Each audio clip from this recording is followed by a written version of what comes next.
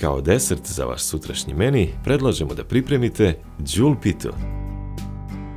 U šerpu na šporitu sipamo 200 ml mlijeka. U preostalo mlijeko stavimo prašak za puding i mešamo žicom za mućenje.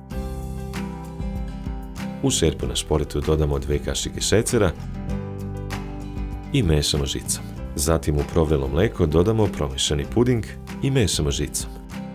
Nakon što puding dobije potrebnu gustinu, sklonimo šerpu sa šporita. Ostavimo da se puding ohladi. U šerpu na šporitu stavimo puter, u sud za mućenje stavimo ohlađeni puding i izmutimo ga mikserom. U sud dodamo vanilin šecer, cimet i mlevene orahe i mutimo do sjedinjavanja fila.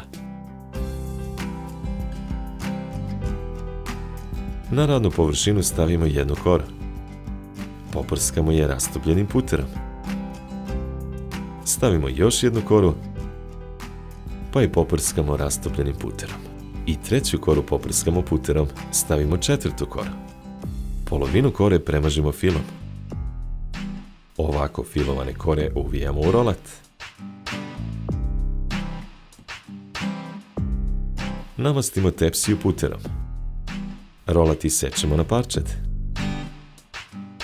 Parčet rolata uspravno poređamo u tepsiju. Na isti način pripremamo i preostale rolate. Stavimo tepsiju u red. Pečemo 20 minuta na 200 stepeni. Počinjemo sa pripremom šerbeta. U šerpu stavimo šecer i 200 ml vode, pa promešamo. Limuni sečemo na krugove. Dodamo ih u šerpu. Šerpu stavimo na šporet i kuvamo dok šerbet ne dobije potrebnu gustinu. Sklonimo šerpu sa šporeta. Tepsiju izvadimo iz rerne.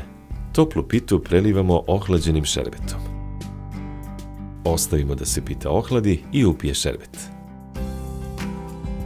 Parčet žul pite poređemo na tacnu za serviranje.